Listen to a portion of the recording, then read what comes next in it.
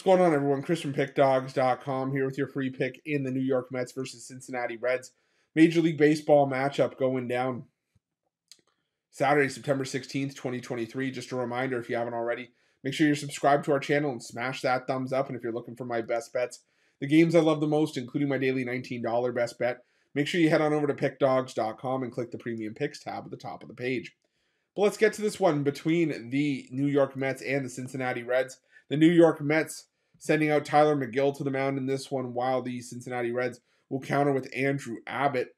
And the thing about you know Andrew Abbott is that he's been a nice piece for the uh, the Cincinnati Reds over the course of the season, but struggled in some of his recent outings. I mean, the uh, the uh, thing for Abbott is that he's been like a lot of Cincinnati Reds pitchers, where those struggles have come at home. Where Cincinnati, you know, home to one of the more hitter friendly ballparks in baseball at Great American. Last time out, Abbott gave up six runs on four hits over four innings work against the St. Louis Cardinals.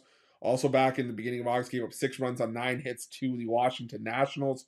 Um, on the road, he gave up three runs in in back to back road starts. The problem there is that Abbott went three and a third and four innings in those two starts. So, not going deep into games and control has been an issue as well for Abbott as he's given up three or more walks in three of his last four starts. So, I think the New York Mets can get to Abbott here, considering that for a you know a Mets team that was struggling against left-handed pitching for the majority of the season.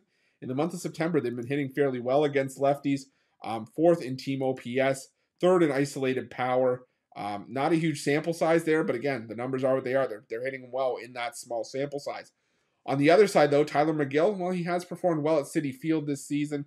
And, um, you know, he's coming off of five shutout innings against the Minnesota Twins last time out. But I still think the Cincinnati Reds could do some damage here as well. This is a Cincinnati Reds team that in the month of September above league average in team OPS against righties and isolated power, sitting 13th and 12th respectively in baseball.